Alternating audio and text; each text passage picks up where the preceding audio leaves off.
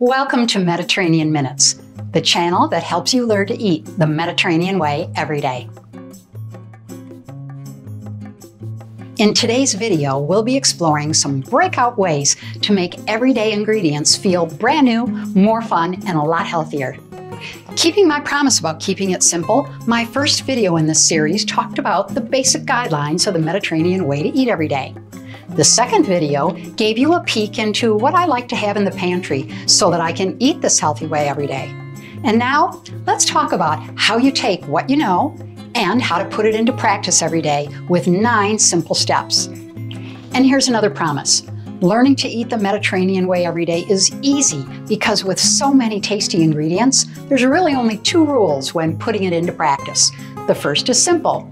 The less you do, the better it is. And who doesn't love less work in the kitchen? The second is to have fun and start playing with these healthiest ingredients. The more you explore, you'll realize that variety really is the spice of life.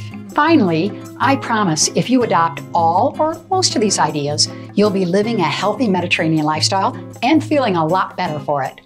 So let's talk about nine ways to go from theory to practice. Number one, start to shift the types of fats in your diet. First and foremost, extra virgin olive oil plays a role in almost every Mediterranean meal. I know I've said this many times before, but it really is that important that it's worth repeating.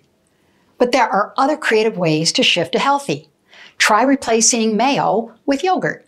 Maybe not all at once. A ratio of two thirds yogurt and one third mayo in dressings will be just as satisfying and creamy. I actually really like the tang that yogurt brings to dishes. Or use some mashed avocado.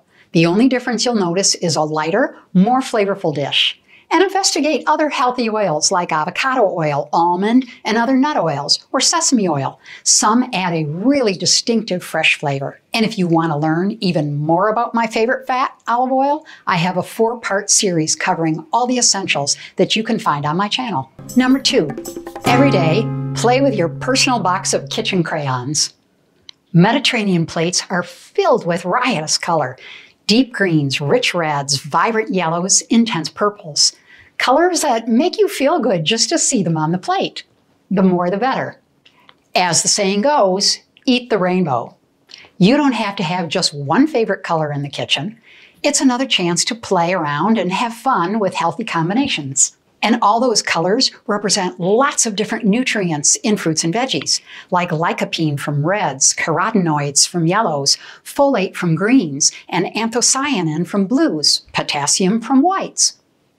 My hands down simplest way to make this happen is to do a quick prep of a healthy mix of fruits and veggies when I get home from shopping and have them at the ready for making salads every single day.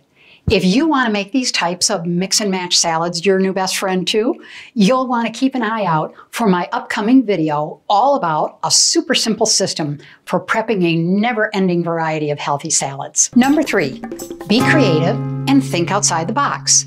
As you start eating this way, I think it's so important to keep it interesting. And the best way to do that is to mix it up and find some new go tos. Vegetables for breakfast? Savory instead of sweet? Last night's leftovers, they all play a role. I often start my day with the simple, iconic Spanish tostada.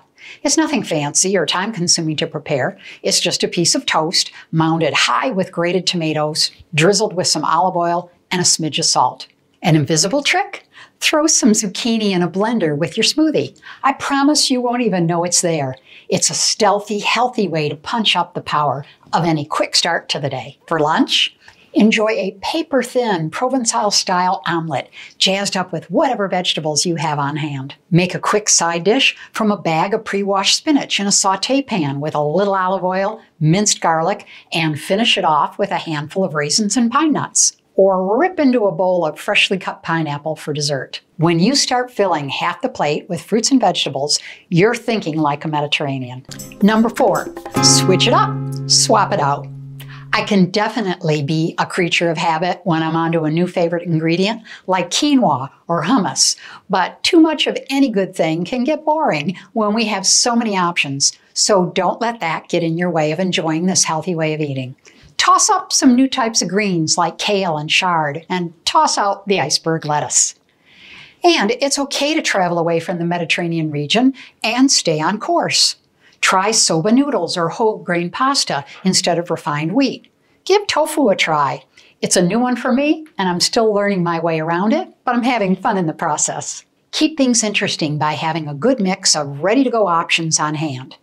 I keep serving size batches of cooked quinoa or mashed potatoes in the freezer, and I make a whole grain rice or farro at the start of the week to enjoy it, hot or cold, at a few different meals.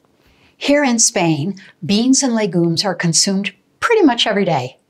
Do they toss them with tomatoes for a simple side dish? You bet. How about a nourishing lentil soup with bits of onions and carrots and spinach and a splash of lemon?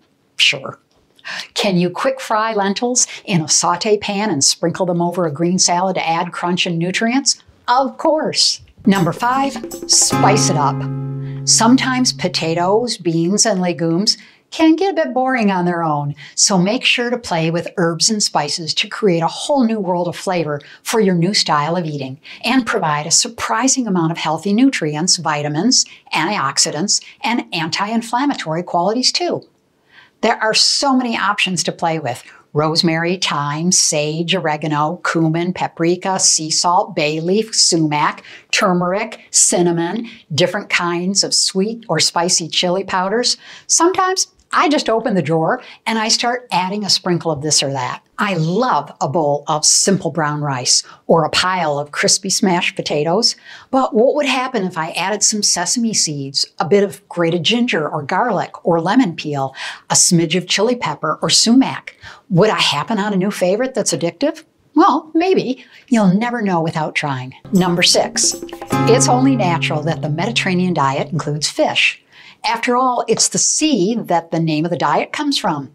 If you eat it two or three times a week, you're doing great. While finding fresh fish at the Mercado has become a daily adventure for me, you might find yourself limited to sourcing really wonderful canned options in the dead of winter. That's fine. Just look for affordable options and grab the best you can. A can of tuna or salmon packed in olive oil or a tin of briny anchovies waiting to sneak into a classic Caesar salad all great options. Number seven, snack on real whole foods like healthy nuts and fruit.